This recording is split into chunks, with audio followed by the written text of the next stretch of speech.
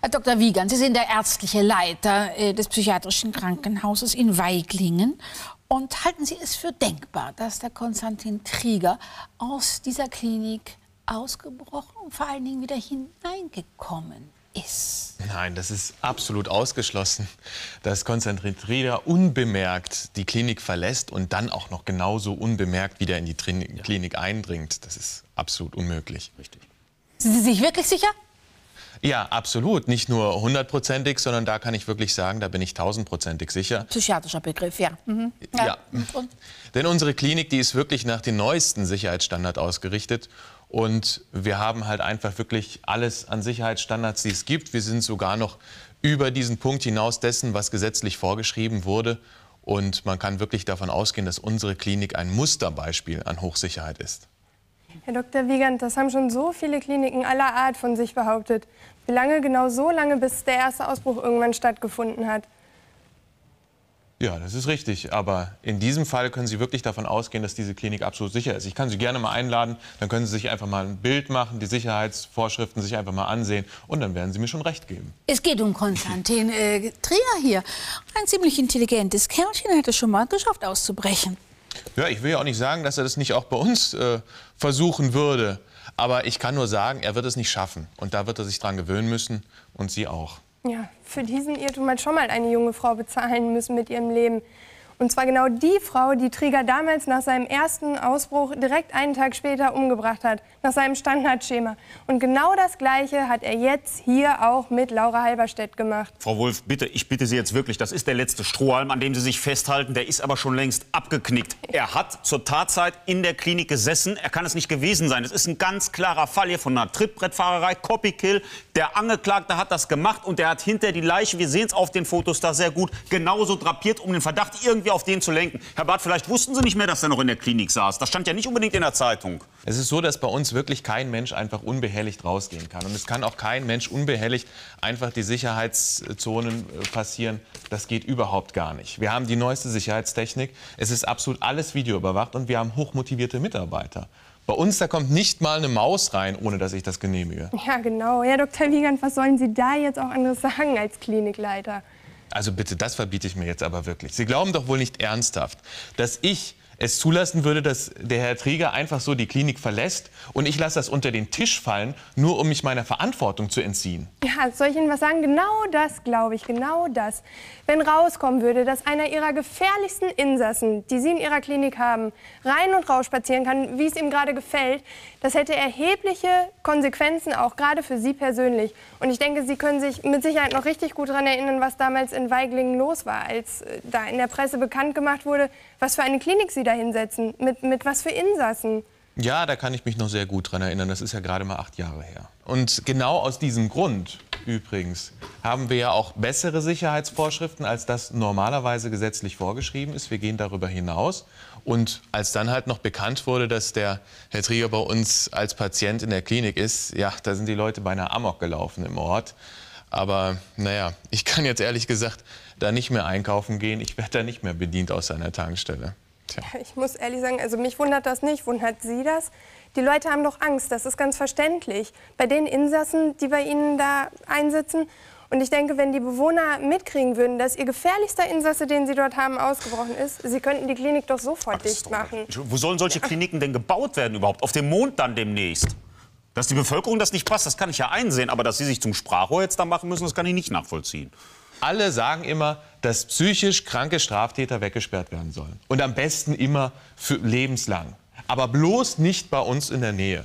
Mhm. Und ich sage das noch einmal, Unsere Einrichtung ist absolut sicher. Ja, also Frau Wolf, Sie müssten langsam wirklich einsehen, dass Sie mit dem Herrn Trieger wirklich nicht weiterkommen. Sonst äh, sollten Sie sich vielleicht auch mal von dem Herrn Dr. Wiegand begutachten lassen. Ich ja, weiß ich es glaube, nicht. das muss ich nicht.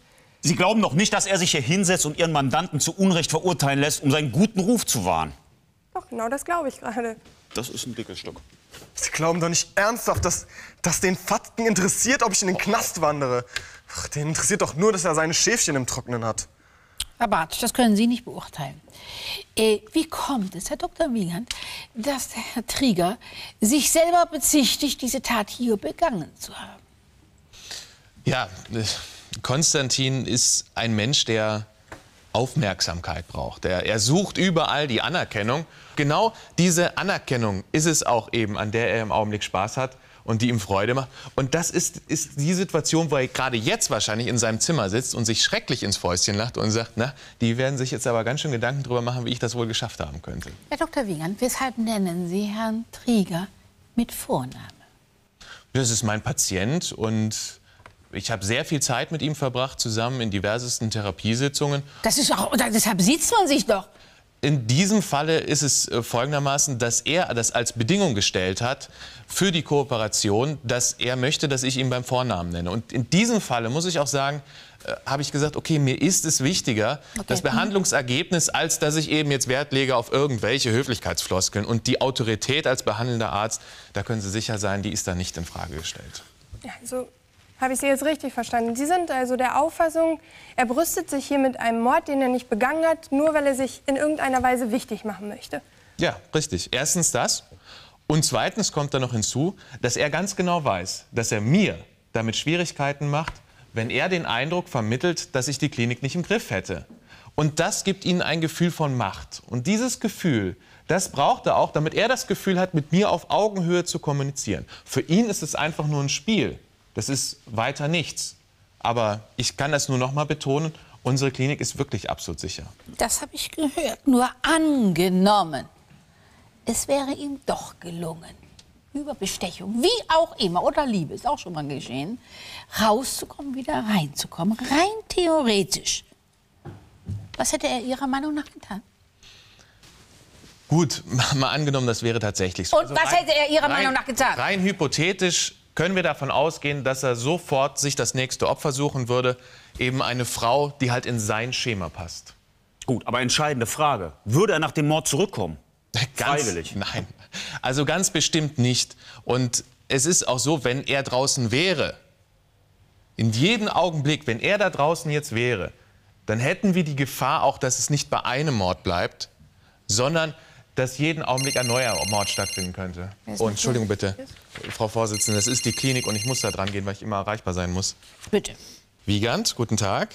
Herr Dr. Weige. Bitte was? Nein, das ist völlig unmöglich. Nein, sowas, nein, sowas kann nicht passieren. Sagen Sie, wie konnte, wie konnte sowas passieren? Haben Sie die Polizei informiert? Ja, ich rufe. Ja, Und? Konstantin ist ausgebrochen. Ich fasse es nicht, ich fasse es nicht. Ich denke, Ihre Klinik ist, ach so, sicher? Ja, das ist sie ja eigentlich auch. Ach, eigentlich, Herr Dr. Wiegand, eigentlich. Was heißt eigentlich? Trieger ist ausgebrochen. Wie hat Konstantin Krieger es geschafft, auszubrechen? Ja, seine Heizung in seinem Zimmer war undicht. Und als dann zwei Pfleger kamen, um sich den Schaden anzusehen, da hat er den einen sofort mit einem Schlag niedergeschlagen und den anderen, den hat er sich als Geisel genommen und sich mit ihm dann den Weg in die Freiheit erzwungen. Wie geht es dem Pfleger?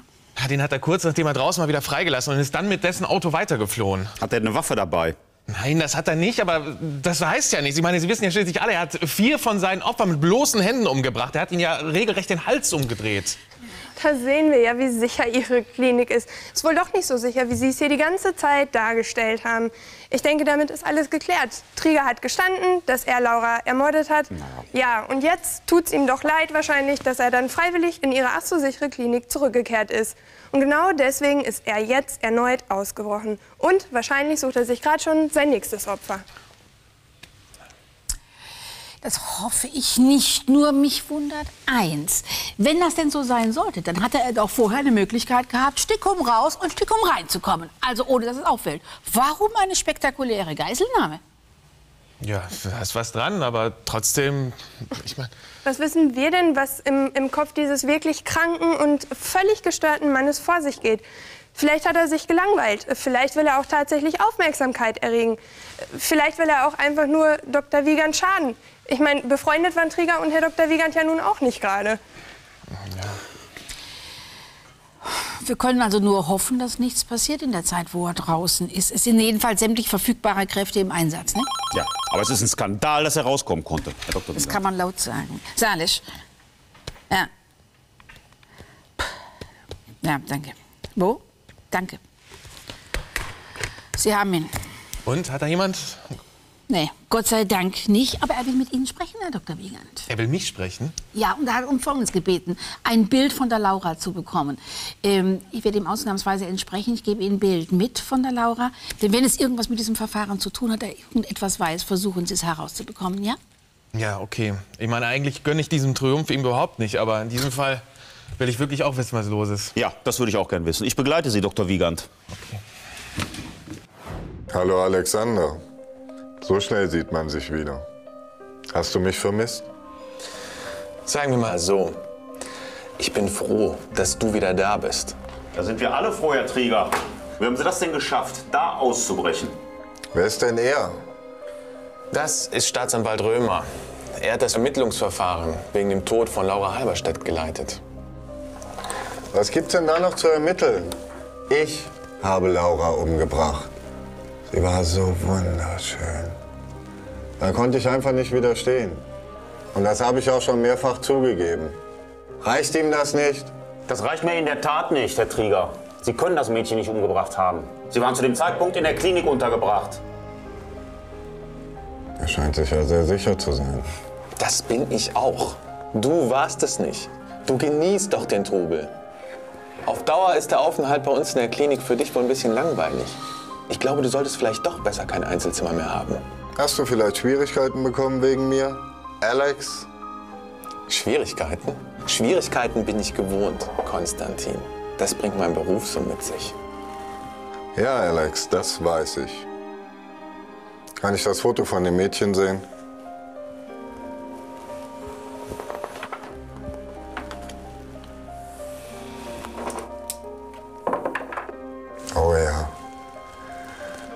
War sehr schön. Genau mein Stil. Eine schöne junge Frau. Das warst du nicht. Das weiß ich. Also, was soll das ganze Theater hier? Weißt du irgendetwas oder willst du dich nur wieder wichtig machen? Du weißt genau, was ich von dir hören möchte. Also sag es! Bitte.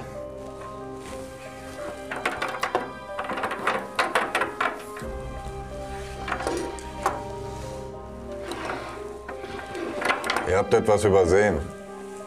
So gut kann der Staatsanwalt dann wohl doch nicht sein. Was meint er damit? Was sollen wir übersehen haben?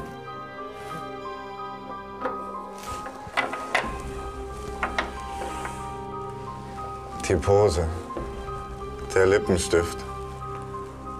Alles ist einfach wie ein wunderschönes Gemälde. Es ist einfach perfekt. Aber, Aber was? aber die Frisur, Herr Staatsanwalt, die Frisur ist perfekt. So perfekt, wie ich sie niemals hätte hinbekommen können. Die hat jemand gemacht, der sein Handwerk versteht. Die Freundin. Ich hatte doch schon alles gesagt, was ich weiß. Was soll ich denn noch hier? Da bin ich mir nicht so sicher, Frau Roth. Haben Sie uns wirklich alles gesagt, was Sie wissen? Ich habe Ihnen alles gesagt, was ich weiß, ja. Wissen Sie auch, dass Konstantin Trieger ausgebrochen ist? Oder war? Man hat ihn wieder gefasst und er hat durchaus Interessantes erzählt. Sie lassen sich jetzt von diesem Psycho einlullen. Was hat er Ihnen denn Interessantes erzählt? Sie haben Laura umgebracht. Sie waren's. Was? Was? Wie ich soll's gewesen sein? Nein, ich, ich war's nicht. Ich meine, der Doktor hat Ihnen doch auch schon erzählt, dass, dass er sich nur wichtig machen will. Ich war's wirklich nicht. Sie haben sich mit Laura gestritten. Zwar haben sie um eins ungefähr so gegen eins die Disco verlassen, aber sie sind gar nicht nach Hause gegangen. Nein, sie haben draußen auf Laura gewartet. Und als Laura dann auch endlich aus der Disco gekommen ist, haben sie sich weiter mit ihr gestritten. Und während dieses Streits haben sie ihr dann wahrscheinlich ganz überraschend, möglicherweise vielleicht auch im Affekt, dann das Genick gebrochen. Ich Sie hatte doch gar keinen Grund, Sie zu töten. Ich war's wirklich nicht. Ja, vielleicht ging es in ihrem Streit um Tom. Vielleicht hatten sie auch tatsächlich, wie es eben schon mal angeklungen ist, ein Verhältnis mit Nico Barth.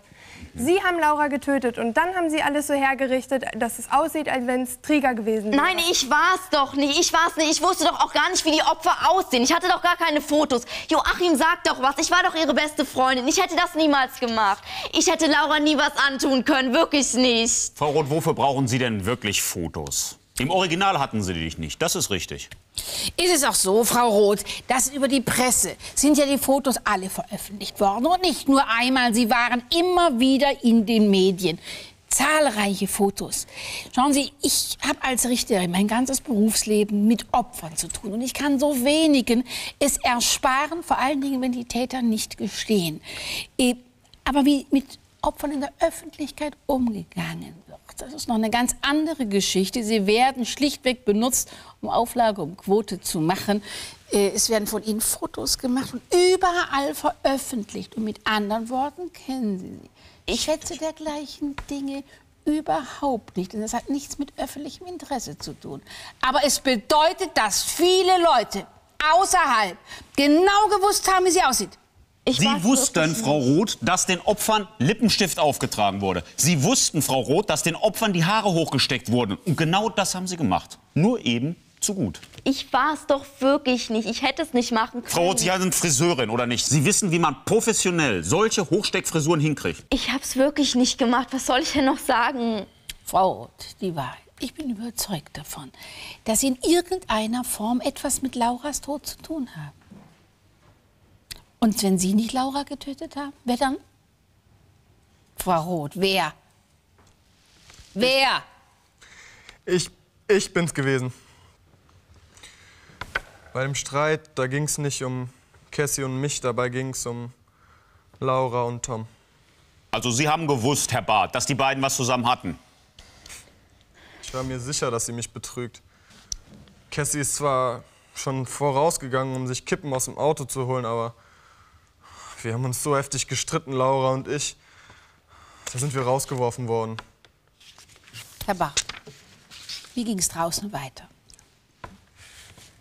Wir sind in Richtung Tiefgarage gelaufen. Cassie voraus. Wir haben uns gestritten und, und ich habe sie immer wieder gefragt, wer es war, mit wem sie mich betrogen hat. Und dann, dann hat sie mir gesagt, dass es dieser Tom war. Hat mir gesagt, dass er ein richtiger Mann ist, nicht so wie ich. Schlappschwanz. Schlappschwanz hat sie mich immer wieder genannt. Und dann, und dann habe ich sie gesagt, sie soll aufhören. Und, und ich habe sie gepackt und ich, ich habe sie geschüttelt und geschüttelt und geschüttelt und geschüttelt und habe gesagt, sie soll aufhören. Sie soll mich nicht Schlappschwand nennen. Ich bin ein Mann, habe ich zu ihr gesagt. Und, und dann habe ich sie geschüttelt und geschüttelt und, und dann hat's, und dann hat's kn- knack gemacht und dann Ach, ich, ich wollte sie nicht umbringen. Ich, ich habe sie geliebt, wirklich geliebt. Wer hat Sie geschminkt und frisiert? Das war ich. Ich wollte. Es war alles ein Unfall und ich wollte nicht, dass äh, Nico unschuldig ins Gefängnis geht. Er hat sie wirklich geliebt und er hat es er hat's nicht wirklich mit Absicht gemacht. Sie wollte mir nur helfen. Wie konntest du das nur machen? Laura war deine beste Freundin. Sie war dann tot und es hätte nichts gebracht, wenn Nico ins Gefängnis gegangen das hätte sie Das hätte sie auch nicht mehr lebendig gemacht. Und Sie wollten wahrscheinlich auch nicht, dass er ins Gefängnis kommt. Ich möchte nicht wissen, was da doch gelaufen ist. Herr Staatsanwalt Römer, ich denke, das ist ein anderes Verfahren. Noch Fragen an die Zeugin? Nein. Bleibt unvereidigt. Noch Anträge? Nehmen Sie bitte hinten Platz, Frau Roth. Noch Anträge? Schließe ich die Beweisaufnahme. Herr Staatsanwalt Römer. Busgericht, nach dem, was der Angeklagte jetzt zum Schluss eingeräumt hat, müssen wir zunächst von einer Körperverletzung mit Todesfolge ausgehen. Er hat gesagt, er hat sie geschüttelt, heftig geschüttelt, so heftig geschüttelt, dass dabei das Genick gebrochen ist. Das ist zunächst eine gefährliche Körperverletzung nach Paragraph 224. Und die Todesfolge muss er sich zurechnen lassen, denn das war hier grob fahrlässig. Die Frage ist nur, wollte er sie nicht sogar töten? Und davon bin ich überzeugt, Herr Barth. Sie haben das nämlich angekündigt. Sie haben es mehrfach angekündigt gegenüber der Laura selbst. Wir haben das gehört, das Opfer hatte selber eine panische Angst, dass das tatsächlich passieren würde. Sie haben es auch gegenüber ihrer WG-Mitbewohnerin angekündigt. Dann hat es in der Tat einen ganz heftigen Streit gegeben. Und jetzt passiert was Unglaubliches. Jetzt passiert etwas, was Sie sagen, ein Unfall, aber nur wenige Minuten danach taucht ausgerechnet die Frau auf, die Roth, mit der Sie vielleicht eine Affäre haben. Das ist hier nämlich angeklungen. Und die hilft Ihnen, das so zu drapieren, das haben Sie geplant.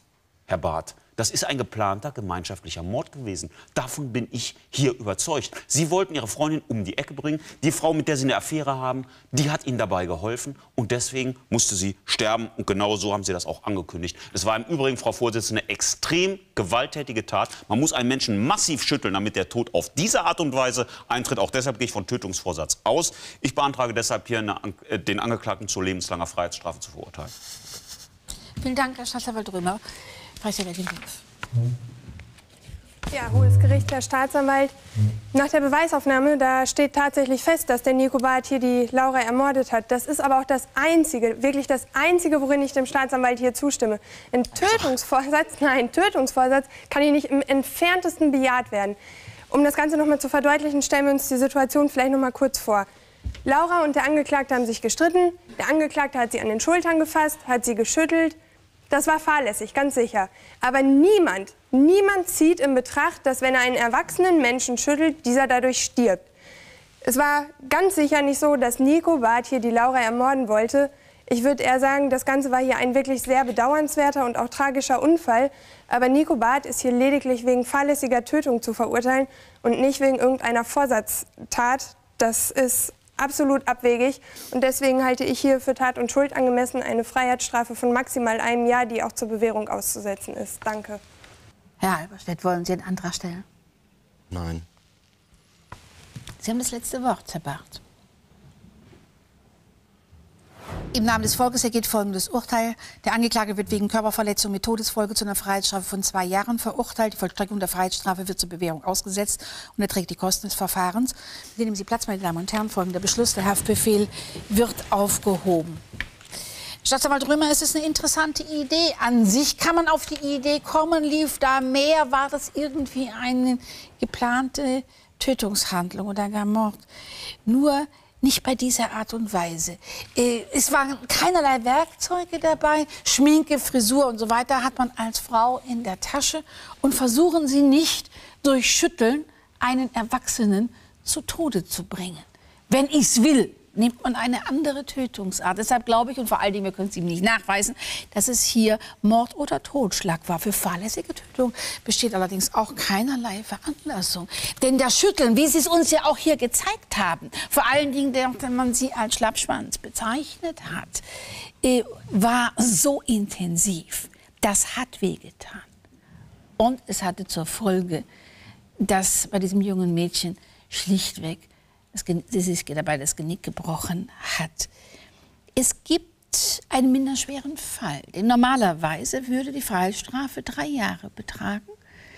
Und dieser minderschwere Fall hat dieses Gericht hier angenommen, weil es ähnelt doch so in etwa dem Totschlag, laienhaft ausgesprochen, minderschweren Fall im Affekt, wenn man durch Beleidigungen unmittelbar davor äh, doch sehr erregt war. Und das können wir Ihnen hier nicht widerlegen. Deshalb minderschwerer Fall. Und aufgeklärt hat es in der Zwischenzeit an sich hier Trigger selber. Man wundert sich, welche Energie in diesem Menschen steckt. Er wollte einfach demonstrieren, dass hier in seinem Namen irgendetwas geschehen ist. Und typisch für ihn, er hätte es uns ja sagen können, ohne Probleme. Nein, er muss diesen Pfleger mit Waffengewalt nehmen. Allerdings würde ich Ihre Sicherheitsschleusen doch mal ein bisschen durchleuchten. Dass man so weit rauskommen kann, hat mich doch sehr erschreckt. Gegen dieses Urteil gibt es das Rechtsmittel der Revision einzulegen binnen einer Woche. Ab heute Ihre Verteidigung wird Sie beraten. Die Verhandlung ist geschlossen. Frau Roth, ich möchte Sie jetzt noch mal nachvernehmen. Cassie Roth wurde vom Jugendgericht wegen versuchter Strafvereitelung zu 30 Arbeitsstunden in einer sozialen Einrichtung verurteilt.